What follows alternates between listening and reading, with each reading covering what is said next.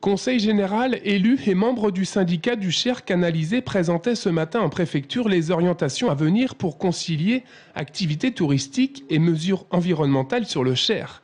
Des mesures immédiates vont être prises, notamment la mise en place d'une passe à anguilles amovible avant juin prochain sur le barrage de Civray. Une passe à poissons est également prévue pour 2014, toujours sur le barrage de Civray. Le coût des travaux est estimé à au moins 500 000 euros.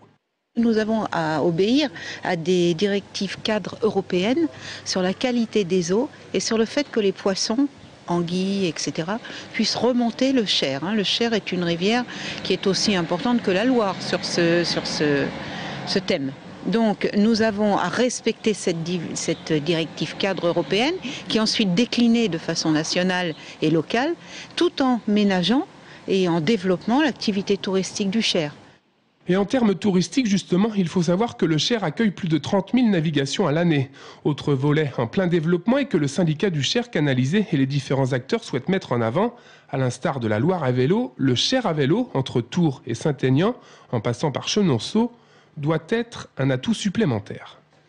Nous avons une, une vocation à pouvoir euh, accueillir sur nos différents plans d'eau, sur nos différents biefs, toute euh, la possibilité fluviale, toute la possibilité de découverte du patrimoine.